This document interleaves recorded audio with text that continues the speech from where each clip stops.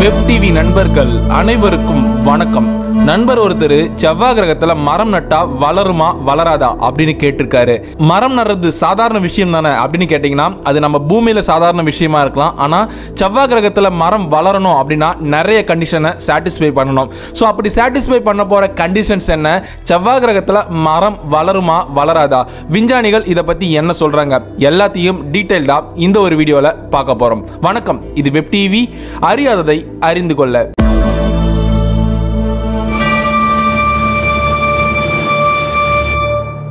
First condition light நம்ம பூமியில் photosynthesis அப்படின்ற ஒரு ப்ராசஸ் நடந்தால் மட்டும்தான் மரங்களால் ஒளிச்சேர்க்கை பண்ணப்பட்டு அதால் உணவுகளை தயாரித்து அதுக்குள்ளே உயிர்கள் வாழ முடியும். ஆனால் அந்த மாதிரி செவ்வாய் கிரகத்தில் ஏதாவது பண்ண முடியுமான்னு பார்த்தீங்கன்னா ஒரு மிகப்பெரிய கேள்விக்குறி தான். ஏன்னா அங்கே சூரிய வெளிச்சம் நம்ம பூமியில் கிடைக்கிறத விட பாதி அளவில் தான் கிடைக்குது. அது மட்டும் இல்லாமல் அதோட சர்ஃபேஸ் டெம்பரேச்சர் நம்ம பூமியில் இருக்கிற மாதிரியான காலநிலையை ஒத்து இருக்கா பார்த்தீங்கன்னா நிச்சயம் கிடையாது. அது மைனஸ் டிகிரியில் வந்து பார்த்தீங்கன்னா கு- கடும் குளிரில் இருக்கிறதுனால ஒளி ஒரு மிகப்பெரிய பிரச்சனையாக இருக்கும். ஸோ அதுக்கு தேவையான ஒளி வந்து பார்த்திங்கன்னா கண்டிப்பாக தேவைப்படுது.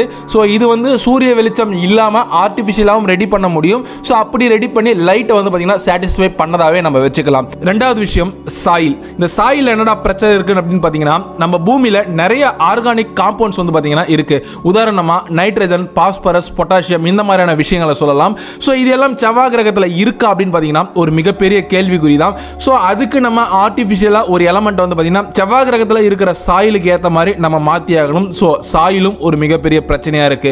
மூணாவது நைட்ரஜன் தனியாக ஒரு பிரச்சனையாக சொல்லலாம். ஏன்னா நைட்ரஜன் நம்ம ஏரில் எழுபத்தி ஒம்பது சதவீதம் இருக்குது அது மட்டும் இல்லாமல் நம்ம பூமியில் வந்து பார்த்திங்கன்னா நிறைய நைட்ரஜன் எலமெண்ட்ஸ் வந்து பார்த்திங்கன்னா இருக்குது அது மட்டும் இல்லாமல் இன்னும் அதிக அளவில் நைட்ரஜன் வேணும் அப்படின்றதுக்காக நம்ம யூரியா அப்படின்ற ஒரு உரங்களை வந்து பார்த்திங்கன்னா நம்ம அதில் கொட்டுறோம். ஸோ அந்த மாதிரி செவ்வாய் கிரகத்தில் நைட்ரஜன் அப்படின்ற ஒன்று இருக்கான்னு பார்த்தீங்கன்னா மிக மிக மிக ரேர் எலமெண்ட்டாக தான் இருக்குது ஸோ அப்படி இருக்கிற பட்சத்தில் நைட்ரஜனையும் நம்ம ஃபுல்லாக ஆர்டிஃபிஷியலாக தான் கொடுத்தாகணும். நாலாவது விஷயம் ஹீட் அண்ட் வாட்டர் என்னதான் நம்ம ஆர்டிஃபிஷியல் லைட்டை வச்சு லைட்டை வந்து கொண்டு வந்துட்டாலுமே ஹீட்டை கொண்டு வர முடியுமான்னு பார்த்தீங்கன்னா நிச்சயம் கஷ்டம் தான் ஏன்னா ஹீட் அப்படின்றது ஒன்று ஒரு சோர்ஸ் ஆஃப் பவர்ல இருந்து பார்த்தீங்கன்னா கிளம்பி வருது.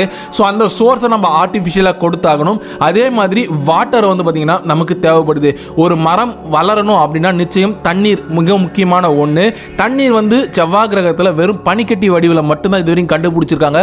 அதுவும் துருவ பகுதியில். ஸோ அந்த இடத்துல என்னதான் நம்ம ஹீட் ஜென்ரேட்டர்லாம் வச்சு நம்ம பண்ணாலுமே அந்த இடத்துல வந்து பார்த்தீங்கன்னா வாட்டர் கிடைச்சிரும். ஆனால் டெம்பரேச்சர் வந்து பார்த்தீங்கன்னா கொஞ்சம் அதிக அளவில் ஆகிடும் இதனால ஹீட்டும் பிரச்சனையா இருக்கு வாட்டரும் பிரச்சனையா இருக்கு. செவ்வாய் கிரகத்தில் இருக்கிற ஒரே ஒரு சப்ஸ்டன்ஸான வாட்டர் சாலிட் ஃபார்ம்ல இருக்கு. ஸோ அதை உருக்கு சொல்லியும் பிரச்சனை ஏற்படுது. அஞ்சாவது கண்டிஷன் என்னன்னா அதர் கெமிக்கல்ஸ் நம்ம பூமியில வந்து பார்த்தீங்கன்னா பொட்டாசியம் யூரியா மாதிரியான சில எலமெண்ட்ஸ் மட்டும் இல்ல ஆக்சிஜன் இருக்கு நைட்ரஜன் இருக்கு பாஸ்பரஸ் இருக்கு கார்பன் ஆட்டம்ஸ் இருக்கு. இந்த மாதிரி எக்கச்சக்கமான எலமெண்ட்ஸ் வந்து பார்த்தீங்கன்னா ஏர்லயும் மண்ணிலையும் இருக்கு.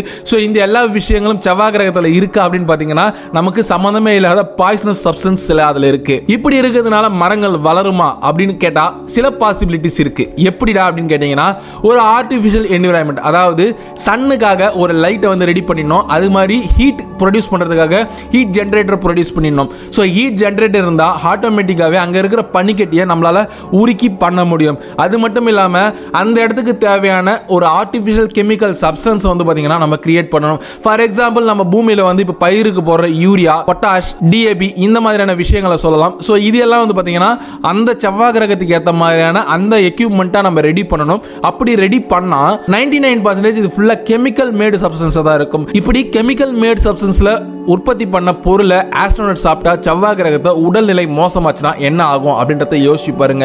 ஏன்னா ஆரம்ப கட்டத்திலே வந்து பார்த்தீங்கன்னா மனிதர்கள் அங்கே போவாங்களான்னு பார்த்தீங்கன்னா ஒரு மிகப்பெரிய கேள்விக்குறி தான் போகிறவங்க ஆஸ்ட்ரோனட்ஸ் விஞ்ஞானம் செய்யறதுக்காக மட்டும்தான் போவாங்க.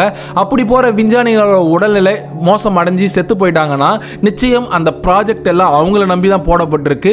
ஸோ அந்த பணம் எல்லாம் வேஸ்ட்டாக போயிடும். எக்கச்சக்கமான விஞ்ஞானிகளோட உழைப்புகள் வேஸ்ட்டாக போயிடும். உயிரை பணைய வச்சு போன அந்த விஞ்ஞானியோட உயிரும் போயிடும். ஸோ எப்படி கூட்டி கழிச்சு பார்த்தாலும் இருந்தாலும் ஆர்டிஃபிஷியலாக நம்ம வளர்க்கணும் அப்படின்னா மிகப்பெரிய சவால்கள் நம்ம கண்ணெதிரில் இருக்குது இயற்கையாக வளருமான்னு பார்த்தீங்கன்னா தொண்ணூத்தொம்பது சதவீதம் வாய்ப்பு இல்லை. இப்படி ஆர்டிஃபிஷியலாக நம்ம விவசாயம் பண்ணணும் மரங்கள் வளர்க்கணும் அப்படின்னா ஒரு குறிப்பிட்ட பொருட்கள் வந்து பார்த்தீங்கன்னா சொல்கிறாங்க என்னன்னா வெங்காயம் பொட்டேட்டோ முட்டைக்கோஸ். இந்த மாதிரி சில பொருட்கள் வந்து பார்த்தீங்கன்னா நம்ம பூமியில் விளையிற மாதிரி அங்கே விளை வைக்கிறதுக்கான சூழ்நிலையை நம்மளால் கிரியேட் பண்ண முடியும் அப்படின்னு விஞ்ஞானிகள் சொல்கிறாங்க எது எப்படி இருந்தாலும் கூட்டி கழிச்சு பார்த்தாலும் செவ்வாய் கிரகத்தில் ஒரு மரம் நடணும் ஒரு விவசாயம் பண்ணணும் அப்படின்னா மிகப்பெரிய சவால் நம்ம கண்ணெதில் இருக்கு. அந்த சவால்களை எல்லாம் கடந்து போனால் மட்டும்தான் நிச்சயம் நம்மளால அங்கே ஒரு இடத்துல விவசாயம் அப்படின்றத ஒன்று பண்ண முடியும். நான் ஏற்கனவே செவ்வாய் கிரகத்துக்கு போகிறதுக்கு உண்டான பிரச்சனைகள் என்ன அப்படின்றத பற்றி டீட்டெயிலாக ரெண்டு வீடியோ போட்டிருக்கேன். அதோட லிங்க் வந்து பார்த்தீங்கன்னா கீழே டிஸ்கிரிப்ஷனில் தரேன். ஸோ அதை செக் பண்ணி பாருங்க. ஸோ அந்த பிரச்சனையெல்லாம் கடந்து செவ்வாய் கிரகத்தில் தரையிறங்கிறதுக்கு ஒரு மிகப்பெரிய கஷ்டம் இருக்கு. ஸோ அதை பற்றியும் தனியாக வீடியோ பண்ணியிருக்கேன். ஸோ இது எல்லாம் கடந்ததுக்கு அப்புறம் நமக்கு விவசாயம் அப்படின்ற ஒன்று தேவைப்படும். ஸோ அந்த விவசாயம் அப்படின்ற ஒரு விஷயத்துக்குள்ள இருக்கிற இவ்வளோ பெரிய பிரச்சனை வந்து பார்த்தீங்கன்னா உங்கள் முன்னாடி எடுத்து சொல்லியிருக்கேன். நம்ம பூமியில் மட்டும்தான் விவசாயமும் மரங்களும் நட முடியும் அப்படின்றது தான் நிதர்சனமான உண்மை. மற்ற கிரகத்துக்கு முயற்சி பண்ணுறோம் அப்படின்னா நம்ம இறந்து தான் போனோம். இந்த வீடியோ உங்களுக்கு பிடிச்சிருக்கும் அப்படின்னு நான் நம்புகிறேன் பிடிச்சிருந்தா ஒரு லைக் பண்ணுங்கள் பிடிக்கலனா டிஸ்லைக் பண்ணுங்கள் அது ஏன் பிடிக்கலன்னு கமெண்ட் பாக்ஸில் கமெண்ட் பண்ணுங்கள் மறக்காமல் வெப் டிவி யூடியூப் சேனலை சப்ஸ்கிரைப் பண்ணுங்கள் நாம் சீக்கிரமாக செவ்வாய் கிரகத்தில் போயிட்டு மரங்களை நடலாம். இது வெப் டிவி அறியாததை அறிந்து கொள்ள. நன்றி.